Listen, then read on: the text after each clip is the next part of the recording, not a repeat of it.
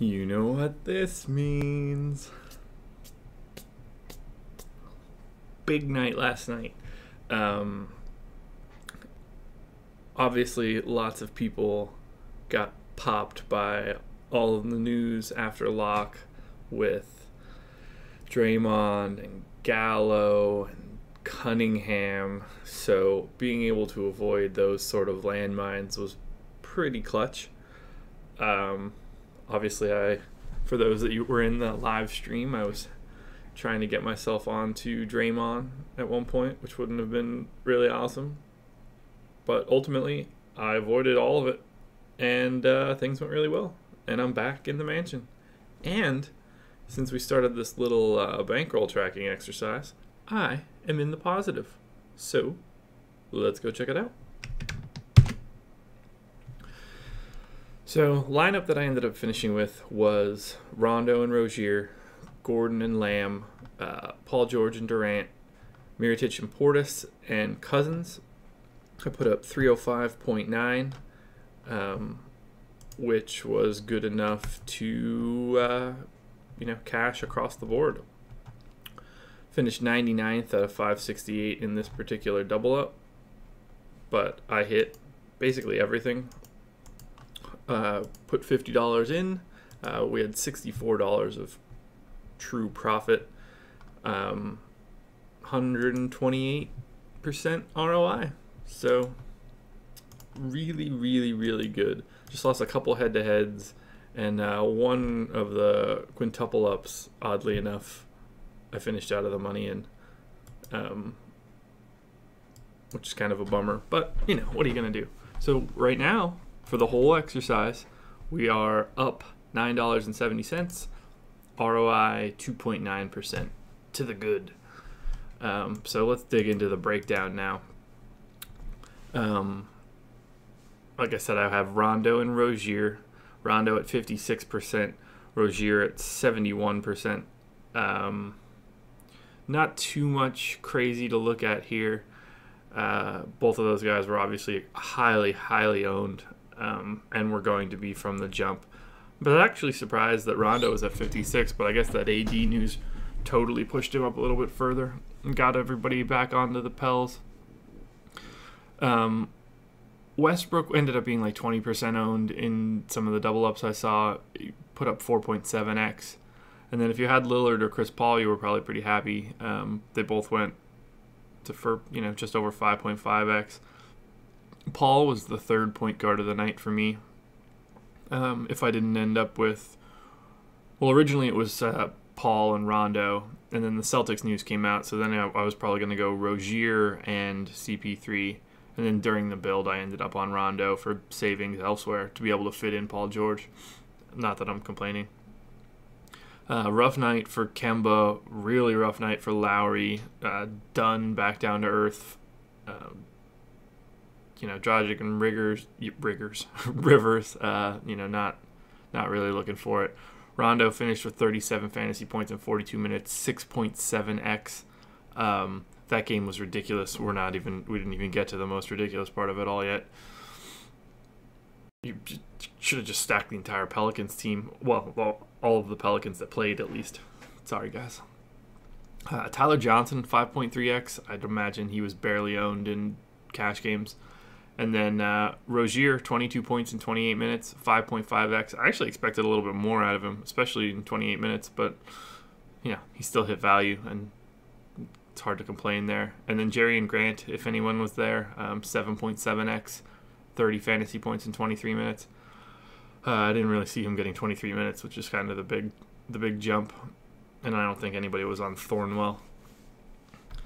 Um, but yeah, I mean, you really wanted to either hit those two uh, lower salary guys, Rondo and Rozier, or you know, I, I, would assume most went to CP3 and were happy. So point guard was relatively okay for cash last night. There weren't too many other cash options that were in play. Um, now shooting guard, uh, I ultimately ended up on Jeremy Lamb, 70% owned. And uh, the final thing that I fit in was Eric Gordon, 4,700. It felt kind of weird that I didn't have uh, a part of the Rockets, even though they had the highest implied total. So when he popped up in my last two, it was like, okay, that's I sort of just need to go that direction. I wasn't really a huge fan of it. Um, he put up 29.9 in 35 minutes, good for 6.4x, which I can't really ask for much more at 8% owned. That's a gigantic performance. That's not the most important stuff that happened at shooting guard last night. We'll start with Harden. So Harden was 67.7 fantasy points in 34 minutes, 5.7x, a, a great play, um, relatively low owned. Let's check it out. And it's just because of the way that lineups fit together last night. Yeah, 15% owned. That's that's amazing. To get Harden and Jrue, a hell of a lineup from that person. Anyway. Um, yeah, big night out of Harden. Uh, I liked DeMar last night. Uh, he was a shooting guard that I would have tried to get onto without all of the crazy news. 39 points in 36 minutes, 4.4x. I mean, it's fine. You wouldn't be too upset. Uh, Lou Williams, not the best night. Tyreke, really bad night. 15.9 in 32 minutes. That Grizzlies team is imploding. Even Gasol's chirping now. Um, and then Clay and CJ both at 4.1x. Um, you know, that's just, they did exactly what you would expect them to do. Between the two of them, they scored 58.7 I had them projected for 57.6, so right on right on schedule. What you wanted to have was Jrue Holiday, because Jrue Holiday took that news that uh, AD and Cunningham were out, and he ran with it. 62.3 fantasy points in 41 minutes. I didn't even look at the box score yet. Every every time I looked back at the scores, it was just like, oh, Jrue Holiday's got 40, Jrue Holiday's got 50. What an what a ridiculous game. 78-77 at the half. Jrue Holiday, 16 of 21, 37 points, four steals. And we're not even on their most ridiculous guy on their team yet. it's so insane. If you stacked, well, I guess it probably is the most ridiculous guy on the team if you stacked these two Pelicans shooting guards, you were almost assuredly going to cash unless you had Gallo and Draymond as well. But yeah, Jrue, 9.2x, huge stud. Um, Smart laid an egg, 17.4 in 31 minutes, 3.1x. Uh, he's just not very good at offensive basketball. And it's hard to separate liking Marcus Smart, thinking he's good, and thinking he's good in fantasy. that's the tricky spot sometimes.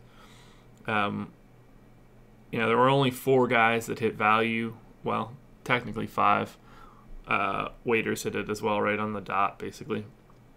Um, Harden, Jrue Holiday, my guy Eric Gordon, 29 and 35 minutes, and E'Twaun Moore, 41 points in 41 minutes, 8.9x uh, you know, he popped up for me as like a Eric Gordon alternative. Obviously, they were a hundred dollars separate, but there was no way that I was going to go to E'Twaun Moore and go with um, three Pels in that particular case. You know, I was, I did, I, you know, I wished I could have got to Jrue Holiday. I just could, there was no way to make that work. But, oh boy, if you would have gotten 103.4 from those two. Insane, insane, insane, insane. So they were the uh, the plays. You just needed the Pels. The Pels broke the slate a little bit, and then all of the late news didn't exactly help either. Now, Paul George and Durant were my two small forwards. Durant, 68% owned, you know, pretty easy chalk play. And then uh, Paul George, 31% owned. I actually expected that to be a little bit higher. We'll talk about him in a second. I guess he probably would have been a little bit higher had Gallo's news been out from the beginning, but as it wasn't, um, kind of stifled him a bit. Durant put up 51 in 36 minutes, 4.4x. It's perfectly functional. And Paul George, 26 fantasy points, 33 minutes, 3.4x. Um, somebody tweeted at me like, well, you know, why did we trust Paul George? I'm not even upset about the way that he played. It was solely a salary play. I wasn't playing him because I thought it was like a good matchup. I wasn't playing him because I thought like he was in line to just blow up. None of that.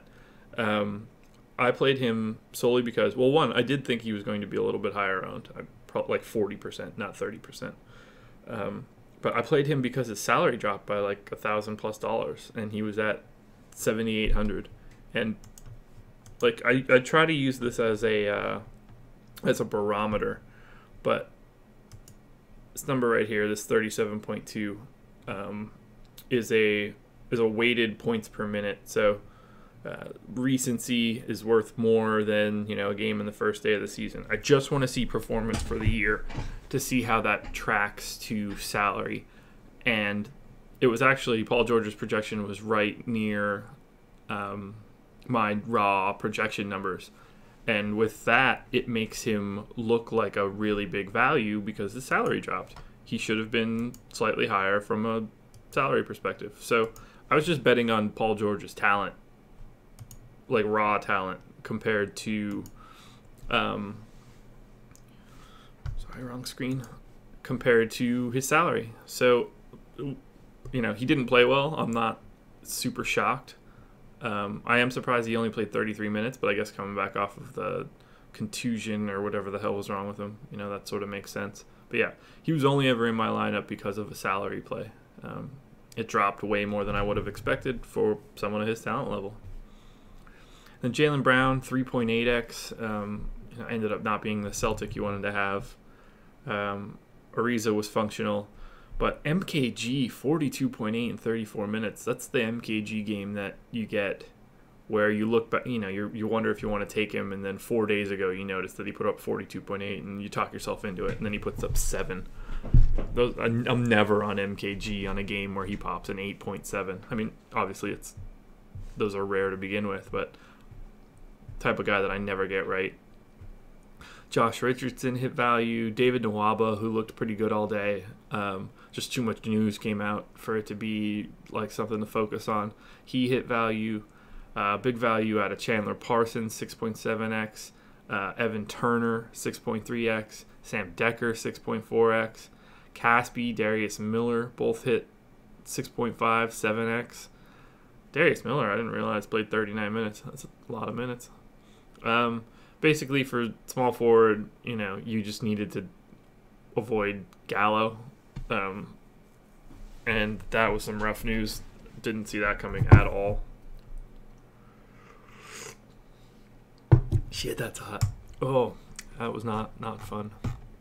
Now, power forward, I went with the Bulls stack. Uh, once Markkanen was out, that sort of opened up both of those guys. Uh, Mirotic was 39.6% owned. Portis was 32% owned. My assumption here is that everybody picked one of the two, and that's why their ownerships are in the 30s. Um, I decided to go with both. Spoiler alert, it was the right decision. Now, uh, I would be remiss to not speak about Draymond getting scratched right after the lock. Um, he was 30% owned. Is that what it was in my double up? Just got to go to the uh, last page and find the people that had the double goose eggs. This guy probably wakes up and wants to stab somebody.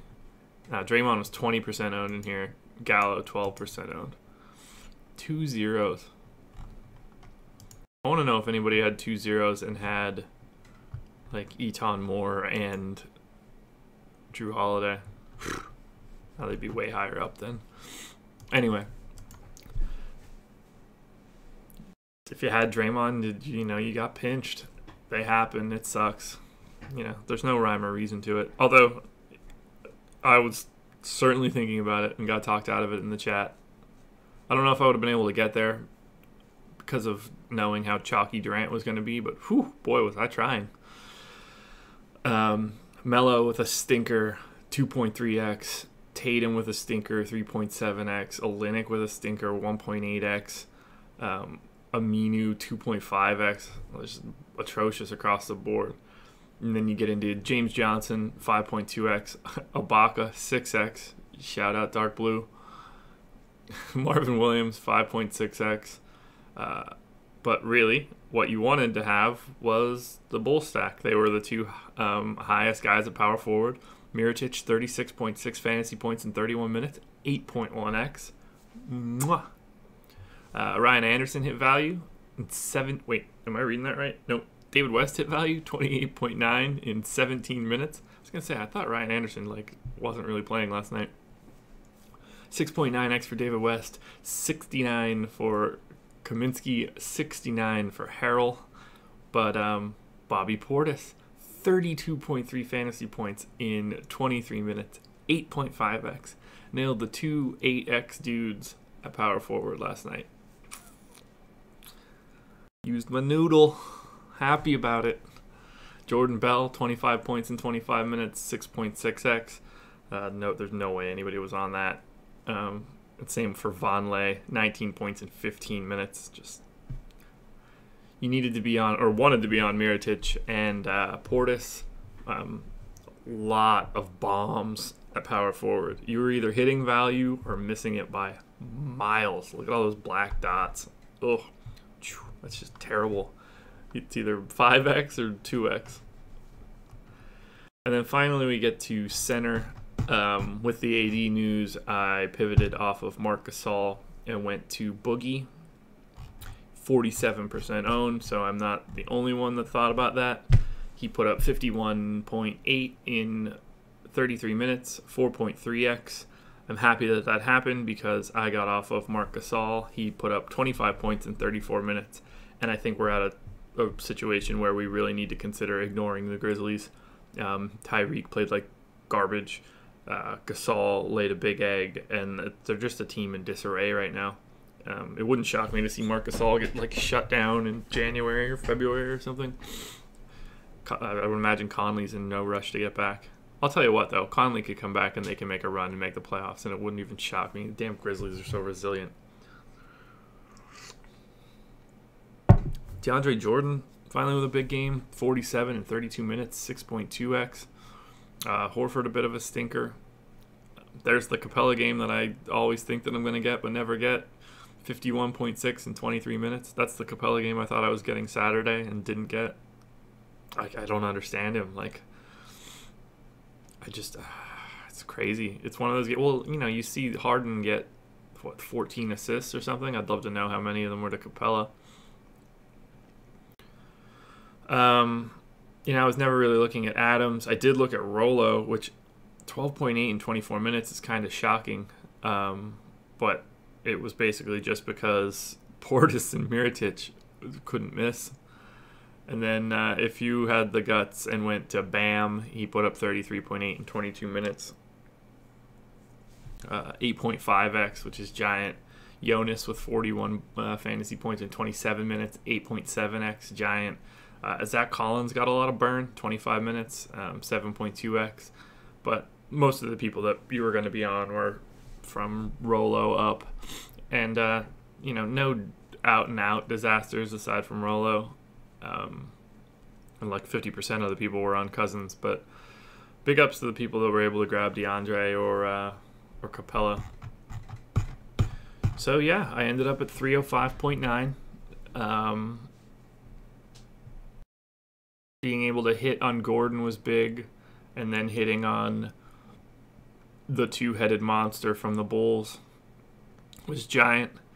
Uh, I was nervous that not having Jrue was going to be a problem, but I think all of those uh, missing guys were able to bail me out. Um, you know, I'm happy with my lineup. One in the basically 3,500 is nuts. I, I hit basically every piece of chalk that I needed to hit it would have just been nice if I turned Gordon into E'Twaun Moore, but I'm not really in any position to complain about Gordon's performance. He got me 6.4x, and that is more than enough for me. So I showed it before, but let's head back to it again. Um, we are now in the positive for this little exercise, which is fun. That's exciting. That's that's the grind right now. You know, 2.9% isn't going to be horrible if we have you know a couple thousand dollars worth of entry fees by the end of the season. So let's just hope it grows, uh, and let's hope we we keep the winning ways going. Um, I'm gonna do a breakdown video for tonight's slate. Uh, there will not be a live before lock tonight. I've got uh, some holiday plans with the wife, so uh, we won't be going live tonight. We'll be back on the live train for Wednesday. Let's see how many games we have on Wednesday.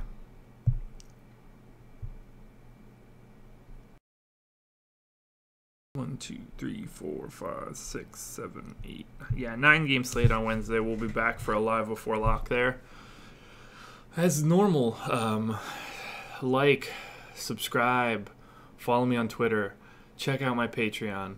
Uh, website is slowly but surely being updated. That is where the projections are going to be housed now. Um, let me know if you have any issues with the site, if it's if it looks okay, if you have any suggestions or thoughts. Um, still working on a Excel book so that you guys can sort of see what I see when I'm when I'm putting my stuff together. Um, thanks to everybody from the live stream last night. Thanks to everybody that uh, got into the super chat, which was shocking by the end of it all. It was so much fun. Um, so thanks to everybody. That's the end of this recap, and uh, I'll be back with the breakdown for Tuesday slate. Bye bye.